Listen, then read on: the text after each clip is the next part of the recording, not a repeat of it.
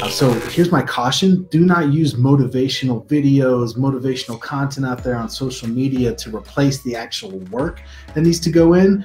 But hey, if you're in a feeling, if you're in a moment of self doubt and you need a little bit of inspiration, motivation, go to the influencers and entrepreneurs and and incredible people online that are providing content and then use that to then go do the work. Just make sure, and I caution you not to use those videos in place of doing the work. A lot of people who watch your content, they feel motivated. Often, um, we have an entire um, uh, page dedicated to motivation.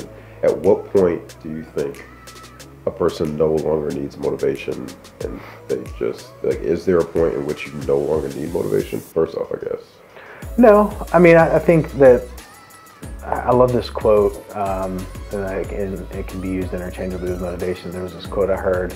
Somebody said, um, "I'm not happy every day, but every day I'm happy." And so, if you think about that, I'm not motivated every day, but every day I'm motivated. So there's going to be pockets of time in every day where you're very motivated and when you're not motivated. And I think during those moments of of kind of a lull in your energy or your spirit or, or whatever you want to call that, then there are times where it's helpful to you know throw on a YouTube video, throw up a podcast, and and start listening and start watching. But you can't confuse watching that motivational video as actually accomplishing anything. That the whole goal of doing that is to watch that video, get motivated, to then go do the thing that you were putting off and didn't want to go do.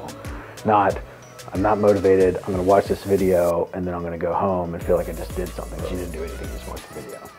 Um, but I don't think that there's, I mean, certainly there's people that we could point to that it wouldn't appear as though they needed any more motivation in their life.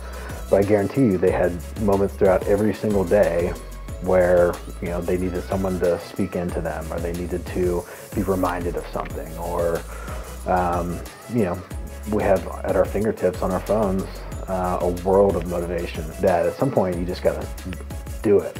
Um, and so I think that's a, that's a big problem.